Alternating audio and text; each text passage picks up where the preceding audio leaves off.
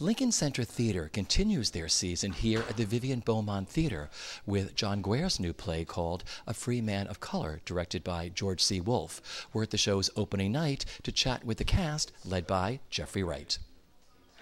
Mama, introduce me. His name used to be. Ah, my name is Jacques Cornet. New Orleans is my home. I'm Cupidon Murmur, his administrative assistant. Last time I looked, to you were my slave. Which is why I stopped looking. Didn't you used to be a slave? Don't be fresh, mama.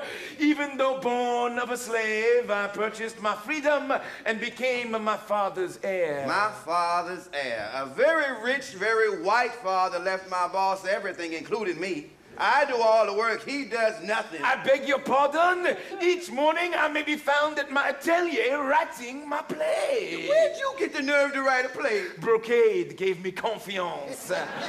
Does your masterpiece have a title? A free man of color. What would it be about? The sanctity of surfaces, the value of veneer. Lift the curtain, we begin.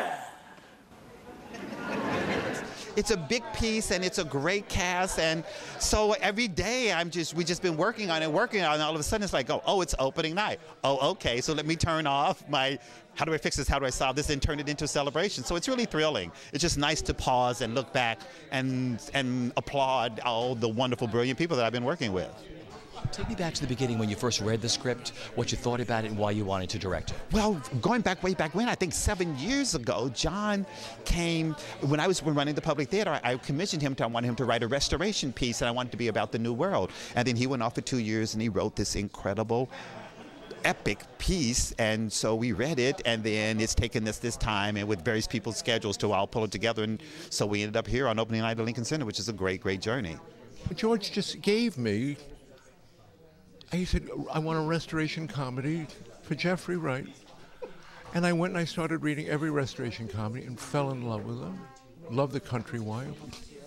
Setting in New Orleans, I got into history. No, I didn't know what I, the play started writing itself for me because as I kept uncovering how it could possibly fit, be located into real American history, the time just before America became America when it was just these 16 perfect little states over there, you know. And uh, so it was.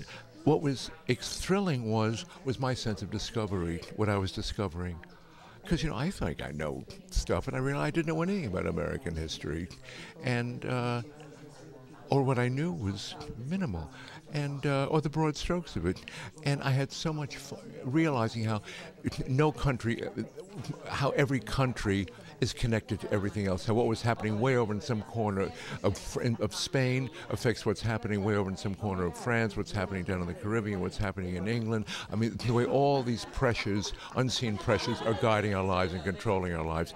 And that's what I felt I was in the power of and was thrilling because I was completely out of control and I wrote to get control. And uh, that's what I found with George. And it's just been a very, very happy experience. And also just wonderful working here at Lincoln Center with Andre and Bernie. And uh, so, and with this wonderful cast. I was saying before, you know, I wrote it for Jeffrey, and then Mos came along, yay! And then we kept seeing people, seeing people, and everybody on that stage is somebody that when we saw them in, in auditions, we just fell in love with them and said they have to be there. Not enough people living here to work the land, to tend, to harvest, who can endure the heat. We have to import workers, and that's how it starts. It grows and grows and grows. You make African affairs sound like a stroll through the market. It is a market. It's a crazed market. Have you ever seen a man addicted to opium? So it is with the world, addicted to our produce. We're all addicts. We need more slaves. The world needs our goods. We need money to build a capital, a house for the president to live in, to buy Louisiana. We live off the labors of those possessions and can't let go. We're slaves to slavery. You keep slaves and hate slavery. Are you a hypocrite? Jesus, who one said is the kindest man who ever lived. We weren't talking about Jesus. When defending oneself, one always quotes Jesus. Well, I play uh, President Jefferson, and and uh, how do I explain? He's he's he's he's, he's not totally this. Uh, like, well, he is an iconic figure. You can't get away from that. But he's uh, he's uh, cranky, frustrated. He's, he's uh, it's a, it's his first day in office, and and uh, he's at the at the beginning very buoyant and excited, and then it hits the fan, so so to speak, and, and from then on, it's oh there's a lot of problems. It, it, it, it hits off on the same things we're going through today. Uh, you think the problems are that they weren't uh, as bad then, but they were, and, and and they don't stop. Um, I play two characters. I play Jeffrey Wright's uh, half brother, and uh, I play Talleyrand, Napoleon's foreign minister foreign minister, foreign advisor, no, foreign minister, uh, right after the revolution, right after the French Revolution. And uh, they're very different. They both want sort of the same things. This is what we found along the way. I mean, I'm not sure they were originally uh, meant to be doubled, but they actually are sort of two sides of the same coin.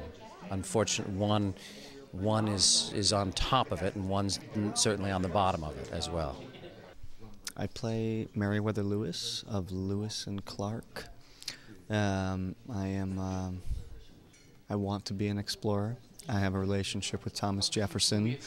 In life, Meriwether was his secretary, and then I uh, am, am unleashed into the wilderness and, and have some scenes with Jeffrey Wright's character. Uh, and that, that's really all I should say, I think. Allow me to introduce myself, Jacques Cornet. You've recovered from your death. I'm not interested in a eunuch. One near eunuch in a household is enough. I find my only solace in science. May I ask what you're looking for? The cause of yellow fever. Look. A mosquito was trapped inside this letter sent me from Saint Domingue, the Aedes aegypti. You see the female's white marking? What, what are you doing? Suddenly, in the presence of you, fair virgin of science, we enter an age of restoration. Lent is over, Easter morning arrives, he is arisen.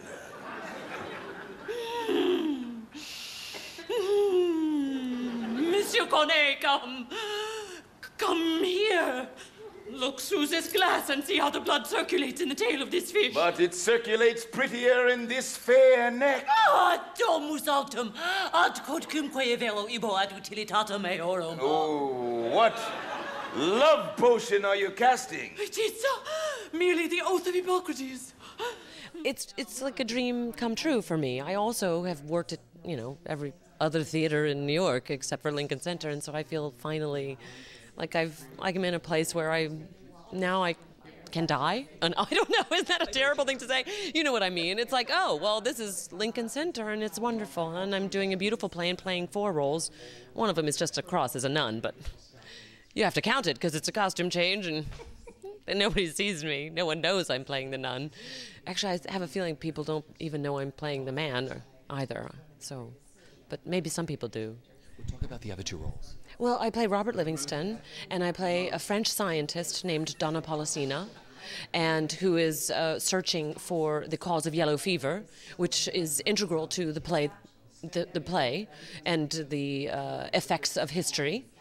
And then I play a whore mistress uh, called Madame Mandragola from Buenos Aires. Well, I mean, I play uh, two characters, and um, Josephine, you know, Napoleon's wife, and I play Doña Smeralda, one of the many women that are part of this beautiful New Orleans world, and has the hots for Jacques Cornet, and uh, she's just great. Two really funny, great um, women that like to perform. Those are the kind of women that, that, that these women are. Um, I play Jeffrey's um, very irritated wife. As a, I guess the diplomatic way to say Jeffrey's tendency, or Jacques Cornet's, excuse me, tendency with women is he has a lot to give. and so um, it creates problems on the home front, and I sort of spend the play chasing him, trying to get him to notice me and work out our issues and not spend so much time loving the ladies. I play Jacques Cornet, who is a free man of color, uh, caught up in the coming history of uh, uh, the early 19th century uh, in New Orleans. Uh, he, it's a, a, play that deals with the confluences of of uh, the international forces and the multicultural forces that created this celebration that is New Orleans. Uh, and at the heart of it is my character, who uh, thinks everything is, uh, you know, is uh, wine, women, and song until uh, the coming contradictions of Jeffersonian democracy descend, and it takes the, the play on a on a journey away from from restoration comedy and closer to uh, kind of American tragic farce. I just soon forfeit an arm or a leg, or, or what? Or the only scepter I allow to rule me. Uh, now that you mention it, another motive for men's alarm is that sea monster of yours lurking beneath the waves, waiting to attack their wives. What are you talking about? The arm of a five-year-old boy holding out an apple? Flamingos flying home. Some guy's wife be in the nest. Apples? Flamingos? Just! Your endowments are legendary. That's... Don't all men have one? Every country has a river, not all of the Mississippi. We're at the New Amsterdam Theater, which is currently